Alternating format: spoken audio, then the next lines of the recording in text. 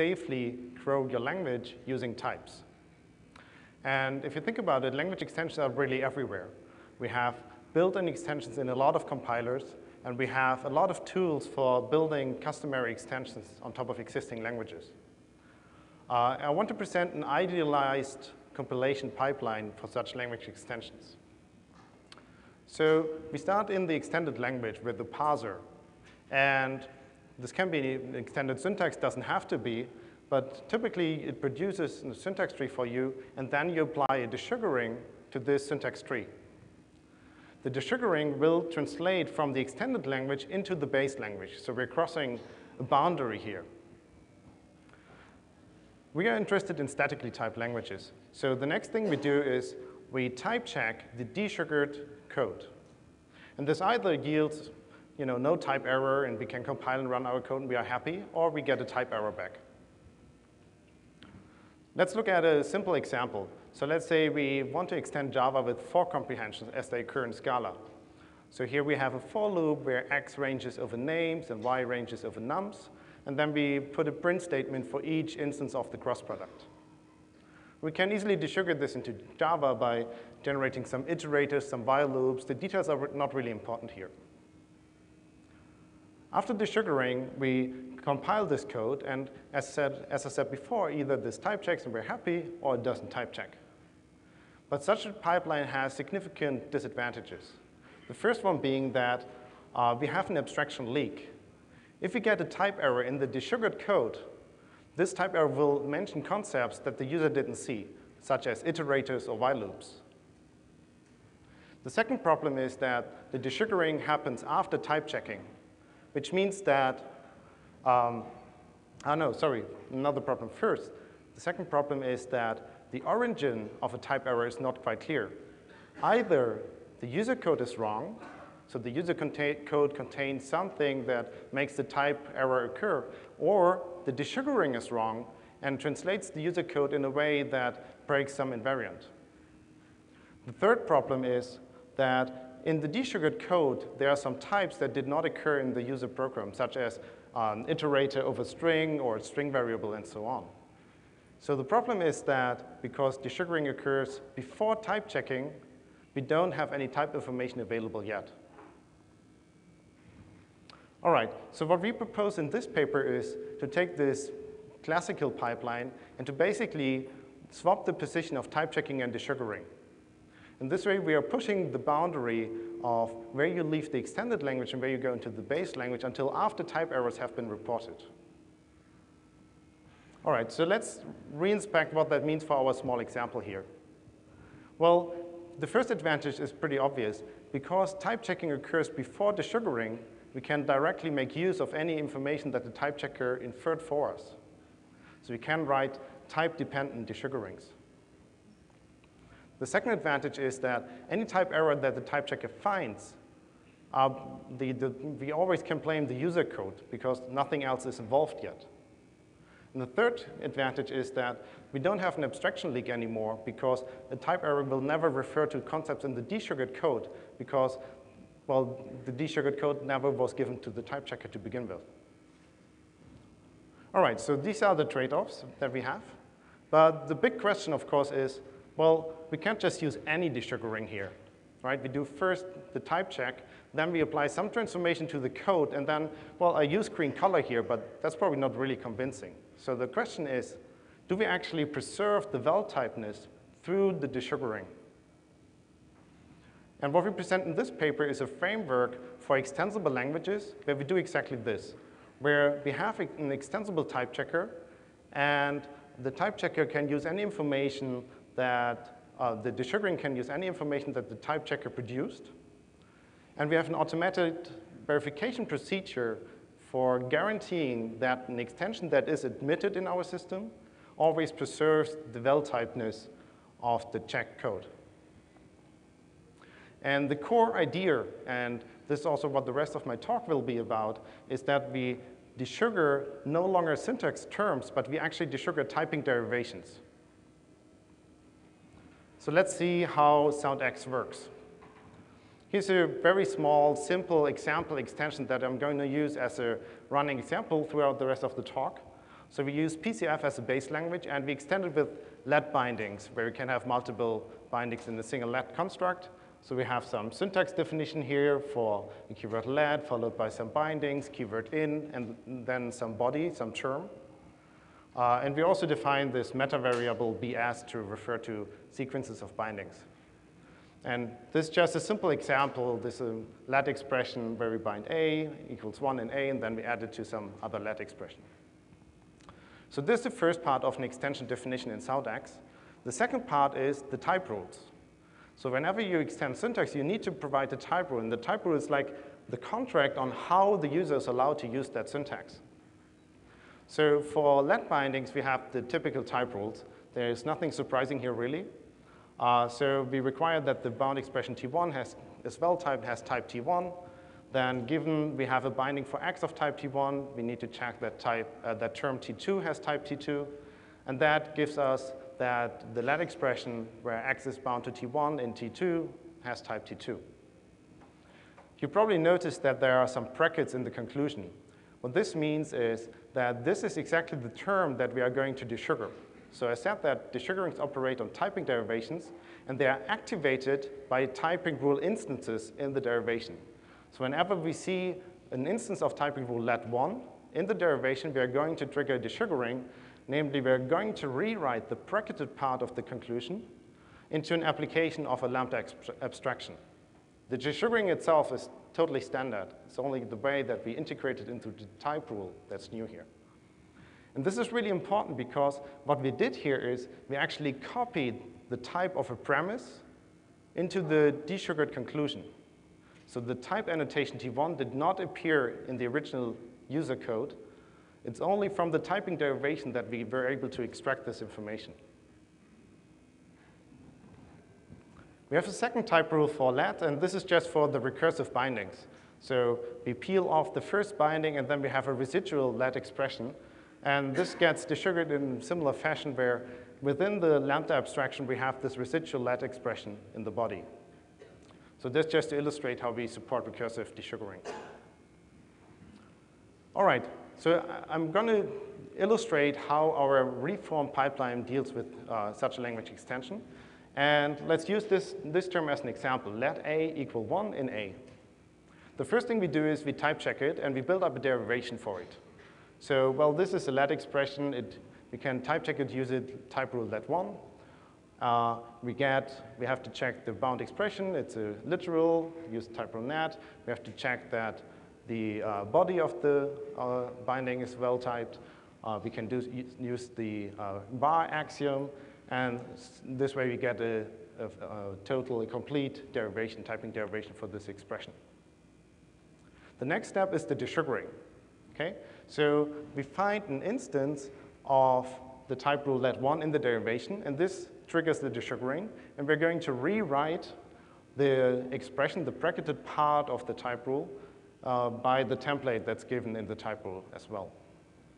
And again, just to emphasize it once more, here we copied the type annotation nat from the subderivation of this uh, derivation of let. All right, but we have a problem now, right? Because, well, this is not a valid derivation anymore. You still see that this was supposed to be an instance of type let 1, but it's not anymore because the conclusion talks about applications and not about lets at all. So that doesn't make sense. So at this point, we have to revalidate our uh, typing derivation. So we did type checking, did desugaring, and now we need to reconstruct it, transform it into a valid derivation again.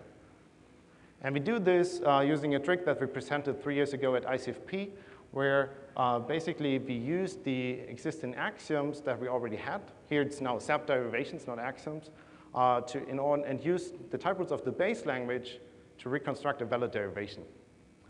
So let's just go by example. So we have an application, so we are going to use the app rule of the base language, and this is going to give us two more proof goals.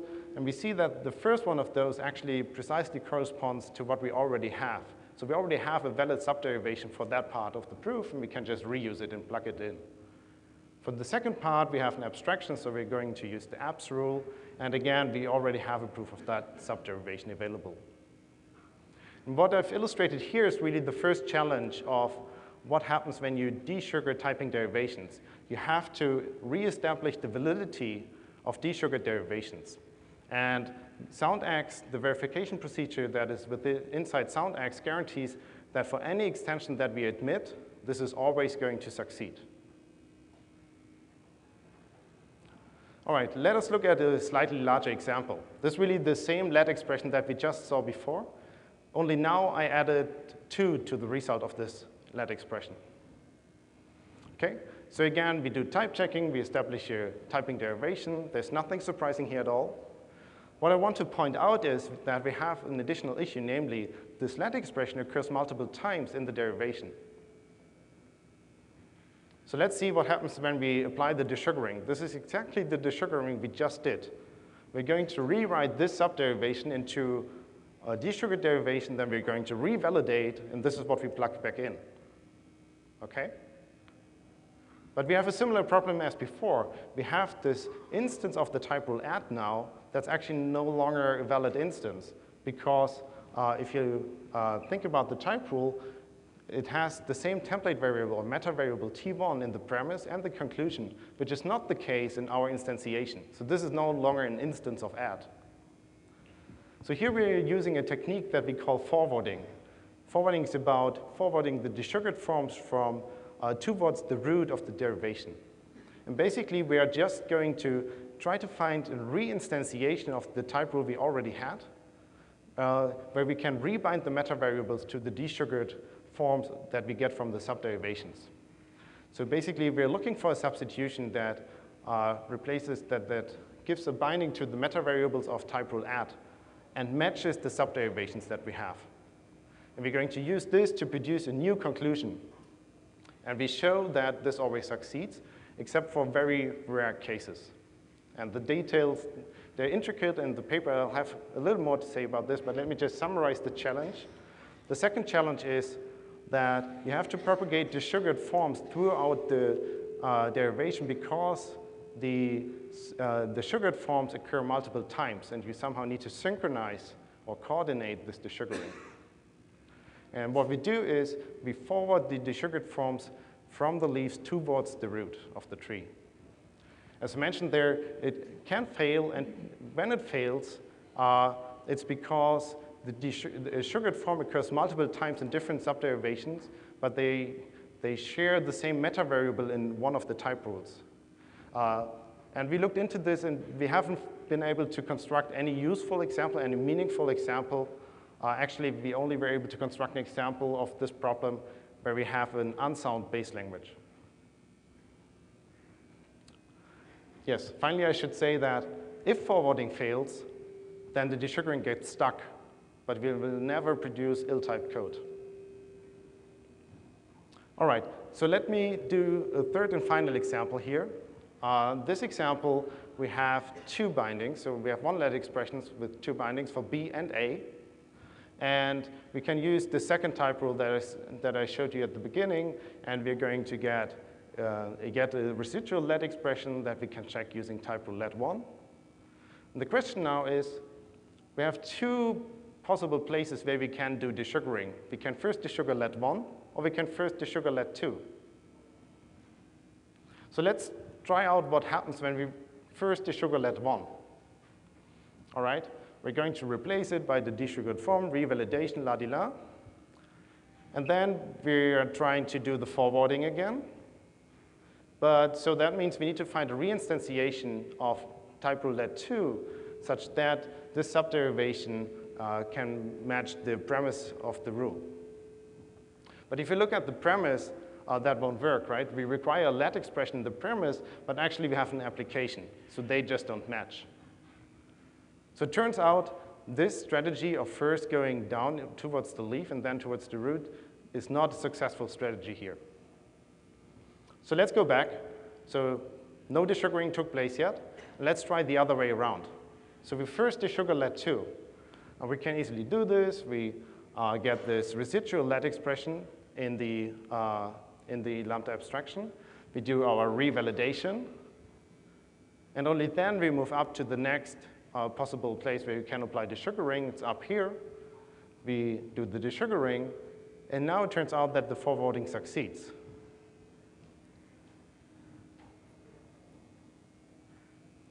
So what this is supposed to illustrate is the third challenge that we encountered, which is the order of desugarings matters. And what we decided to do in SoundX is a single pass down-up traversal over the derivation. So we start at the root, and we do some of the extensions, some of the desugarings on the way to the leaves, and some of the extensions on the way to the root.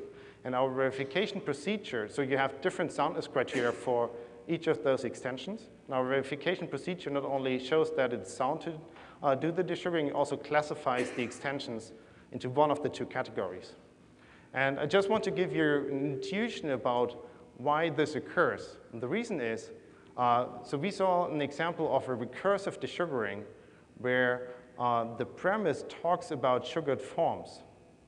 And if you have this, then you cannot go bottom up. You can't stay, start at the leaves and go towards the root of the derivation because this breaks the assumption that's encoded in this type rule. Uh, an example of the other way around, where you need to start at the leaves and go towards the root, is when you have an elimination form in the premise. Uh, and you can find details in the paper about that or talk to me later. So in the paper, we have uh, formally, uh, formally defined all of these things. It's a base language independent formulation where we define what a valid derivation means, uh, what derivation desugaring means, and we precisely describe this verification, uh, this extension verification procedure. And we have two soundness results. The first is that desugaring preserves the validity of typing derivations. And the second is that desugaring does not get stuck except if this weird forwarding uh, error happens. We also implemented the system. Uh, it's a language-independent implementation. And we uh, instantiated our implementation by defining uh, um, a significant subset of Java, which we uh, phrased, uh, coined Java Lite. It supports methods, packages, constructors, fields, generic classes, imports, inheritance, assignments, conditionals, and loops. So quite a, uh, quite a bit. It's about 150 uh, type rules that we need to define. And we've, we have built two extensions in this language. Uh, the first one being we added for each loops. And this is a little bit similar to the example I showed you at the beginning. So this desugars into an iterator in the while loop and so on. But what I want to point out here is this curly brace at the beginning of the generated code.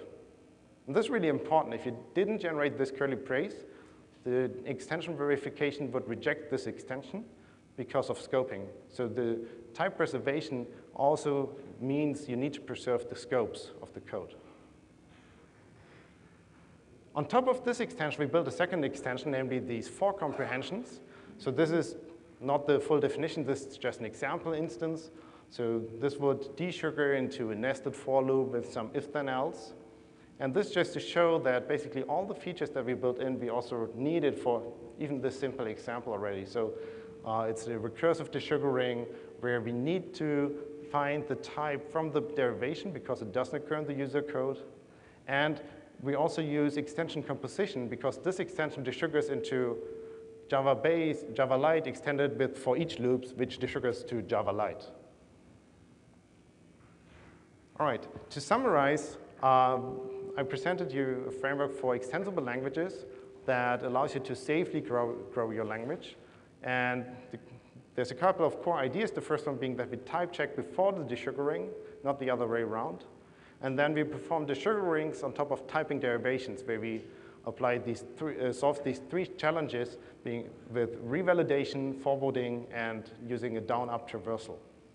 And we have implemented this and applied it to Java Lite to build two of the extensions that I showed you. Thank you very much.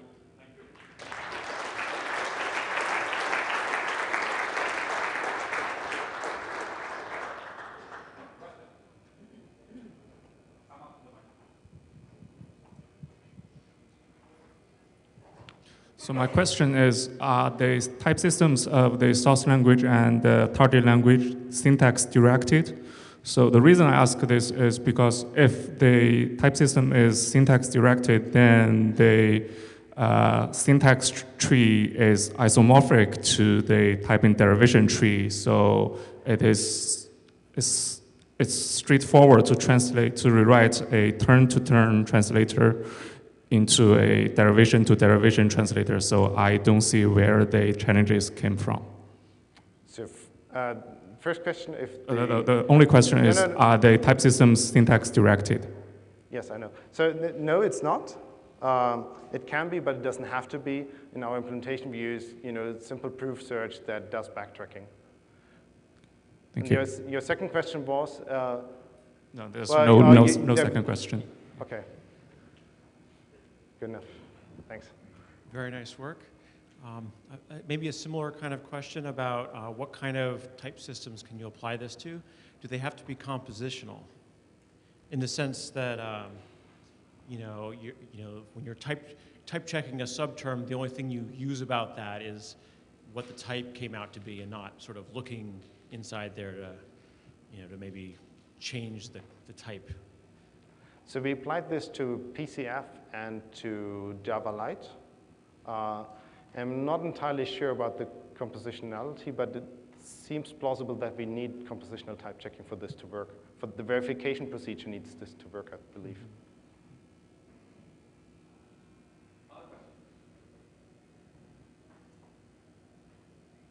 Let me ask you one thing. So you had this theorem that said that uh, desugaring never gets stuck. Does that mean that an order in which to do things always exists? So you mentioned the order is important, and I would like to Right. apply that to that theorem. So our implementation, our SoundX fixes an order in which desugarings happen. So it's, a, it's fixed, it's a single pass down up traversal over the derivation. And we're going to apply desugarings exactly during this traversal whenever we encounter a type rule instance that comes from an extension. Uh, so this is fixed. Um, but the verification procedure categorizes extensions into whether to do them on the way to the leaves or whether to do them on the way to the root. And that can always be done. There is extensions that we will reject. But if we accept the extension, then it, it, it, it works, yes. Thank you. Uh, Julia Belyakova, Southern Federal University. Uh, When you- I'm sorry. Can you Julia, speak up a little okay. bit? Uh, when you talk about desugaring, do you mean really just syntactic desugaring, or can it be some syntact- semantics uh, in there? Because uh, if we just uh, unroll for expressions and uh, this uh, kind of uh, syntactic desugaring, and uh, we have quite uh, rich type system, uh, target type system, then it's it's really cool. But uh, can we do something more? Uh, I'm not quite sure if I understand what you mean by semantic desugaring. Yeah, we just unroll this uh, for expression into the target language. Uh, we move these typing rules like up, but we haven't any additional semantics here. Can I add something new? Uh, if I haven't, for example, if I haven't generics in my basic language, I think we cannot add generics uh, and desugar them into something. Oh, okay. So the, it's really desugarings in the sense that the base language needs to be more expressive, uh, needs to have uh, the same expressivity, at least the same expressivity than the extended language. So we cannot change the base language. If the base language doesn't support concurrency, we are not going to be able to retrofit this uh, into the base language using extension. Okay, thanks. Hi, uh, Reuben Rowe, UCL in London. Um, that's a very nice talk, thanks. Um, you motivated that by uh, giving um, and or by describing existing desugaring approaches, and you gave this example. Uh, essentially, it was in Java, and I was wondering. So Java is a type language, um, and I was wondering, do these existing approaches, if if they have type information in the beginning, um, are they just throwing that type information away when they do this desugaring and then the type checking? And, and if so, I mean, why, why, is, why is that? And, Um, so the existing work falls into two categories, or actually three categories. So there is work where you don't have context-sensitive desugarings. So you cannot do, you cannot inspect the types in order to make decisions about how you desugar. So that's one category. Uh, and the other one is where you do have this information, but you don't get any guarantees about what the result of the desugaring will be. So you don't get these preservation properties. Uh, it's a nice talk. Uh, I'm wondering if the uh, SoundX supports a feature like hygiene. For example, you may only capture problems, capture variables in the environment, and if you don't uh, do hygiene in desugaring, it might be capture wrong variables. That is that a part of the problem? Um, no, it's not a problem because, so, so first, our type rules, they are explicit about the context, right? So we have to manage our names manually when we write down, when we write these extensions. But then part of the preservation uh, or part of the desugaring is that you need to prove that the desugared code is well typed in the same context as the original code. So it's really the same names being available. That sometimes means you actually have to, uh, when you generate code, you sometimes have to hide bindings that you generated such that the verification procedure can guarantee any uh, this composer with any other existing code. That's exactly what the one example was about, where we had to introduce the scope around the iterator. Thank you, Raj. Thank you again. Thank you.